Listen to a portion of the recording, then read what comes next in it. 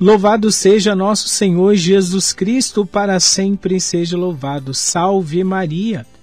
Ainda estamos na nossa novena do Imaculado Coração de Maria e também nas festividades do Coração de Jesus. Dia 9 de junho, dia de São José de Anchieta. José de Anchieta nasceu em 19 de março de 1534, nas Ilhas Canárias.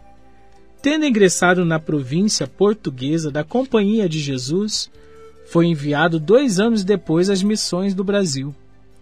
Ordenado sacerdote em 1566, foi escolhido para superior da comunidade de São Vicente e depois de São Paulo.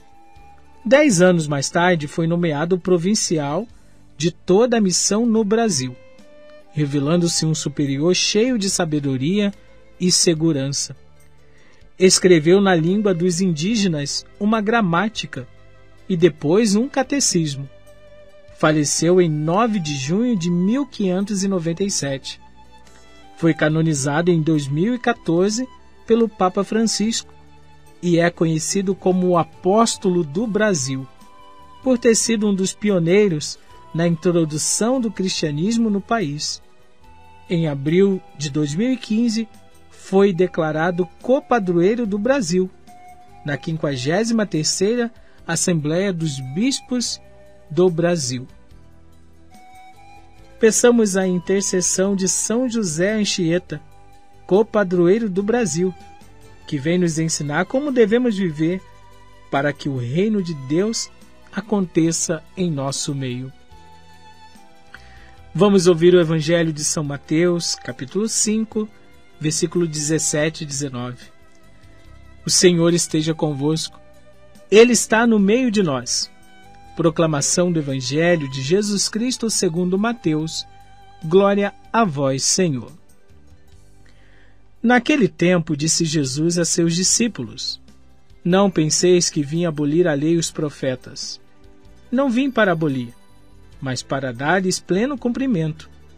Em verdade eu vos digo Antes que o céu e a terra deixem de existir, nem uma só letra ou vírgula serão tiradas da lei, sem que tudo se cumpra.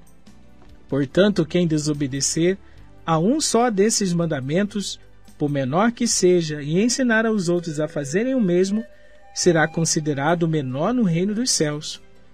Porém, quem os praticar e ensinar, será considerado grande no reino dos céus. Palavra da salvação Glória a vós, Senhor. O verdadeiro cumprimento da lei consiste no dizer de Jesus em observar o que ele diz, tendo disponibilidade para ensinar o que dele mesmo se aprendeu. Acabamos de falar de São José de Anchieta, toda a sua disponibilidade e evangelização aqui no Brasil. E você? Quantas pessoas você já trouxe para Deus? E quantas pessoas você já afastou? Não, você não deve afastar ninguém. Traga sempre as pessoas para Deus. Cuidado para você não trazer para si mesmo, nem para o seu grupo, nem para o seu movimento, nem para o seu clã, nem para o seu grupinho. Você precisa trazer as pessoas para Deus e viver lá na sua realidade as moções do Espírito Santo. Ser grande no reino dos céus significa exatamente exercer o ensinamento com humildade e retidão, entendendo que tudo o que se faz vem de Deus e é possibilitado por Ele. Rezemos. Céus, santificado seja o vosso nome Venha a nós o vosso reino. Seja feita a vossa vontade, assim na terra como no céu. O pão nosso de cada dia nos dai hoje. Perdoai-nos as nossas ofensas, assim como nós perdoamos a quem nos tem ofendido. E não nos deixeis cair em tentação, mas livrai-nos do mal. Amém. Nos consagremos ao Imaculado Coração de Maria.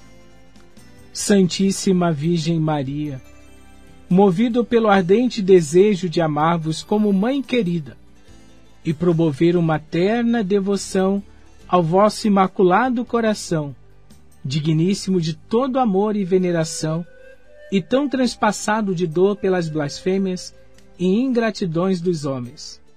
Humildemente me prostro aos vossos pés e consagro ao vosso coração doloroso e imaculado para sempre, meu corpo, minha alma, minha vida, meu coração e todo o meu ser. Aceitai, Mãe amorosíssima, esta consagração e guardai-me sempre em vosso coração materno. Ó minha eterna Mãe, em vós confio, quero amar-vos sempre mais e servir-vos com toda a felicidade. Abençoai-me, protegei-me e preservai-me de todo mal. Amém. O Senhor esteja convosco, Ele está no meio de nós.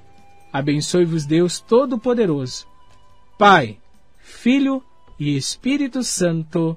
Amém.